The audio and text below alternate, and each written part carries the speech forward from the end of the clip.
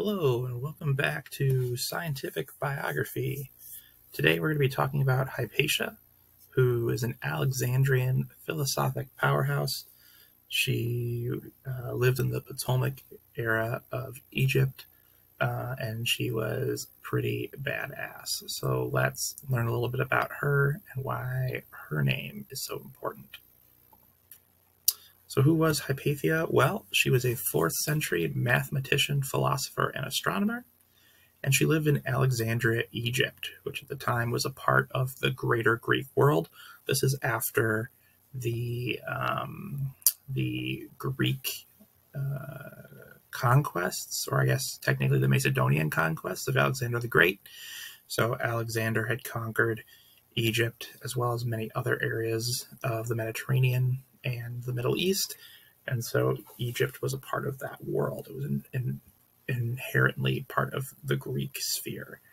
Um, Hypatia was a Neoplatonist, so someone who followed Platonic philosophy um, after Plato had died. So Plato had died many years prior, um, but his philosophy and his teachings still lived on in the Platonic school of thought.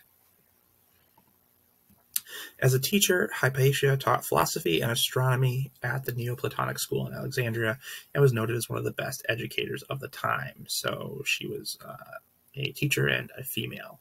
Um, so back then, a pretty big accomplishment. Uh, she taught students from all across the Mediterranean world, including Greeks and Romans, but also Egyptians and Middle Eastern people. Uh, and Hypatia was a pagan, but at the time tolerated Christians which was very unlike the uh, people, other teachers at the time. Most uh, teachers um, in the area um, wouldn't tolerate Christians. They had not gained the respect in the this area of the world um, that they would eventually reach when Constantinople became the Roman Empire or the emperor. So at this point, Christians were kind of uh, a lower group of citizens in the area but he she taught them anyway. Uh, she was also, right, like I said, a mathematician and a philosopher, and most of her work uh, was done editing or improving upon work that had already been submitted. So Hypatia, for instance, edited uh, Ptolemy's Almagest and added new information that had been discovered since it had been published. Uh, it was once thought that she had only amended her father's commentary on the work, but it has since been determined that she had edited her father's commentary and then the actual work herself. So we've learned that she has she had a much bigger uh, role in this improvement than we thought. Hypatia oftentimes commented and edited older works to update them. So she would take works uh, that had already been published and she would update and improve upon them because time had passed since they had been published. In mathematics, Hypatia also worked on Diophantus's 13-volume Arithmetica. Arithmetica? Yeah, yeah, Arithmetica. The additional material found in the surviving works must be Hypatia, since she's the only known person to have worked on and supplemented this work.